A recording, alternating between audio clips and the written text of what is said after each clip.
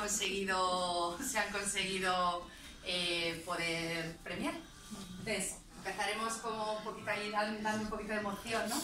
El tercer premio, eh, votado muy bien, maravilloso, porque además es que se da muy bien este tercer premio, porque es un debut de nuestra querida Ruth, que todavía nos falta el número de cuenta para cargarle el recibo de la asociación.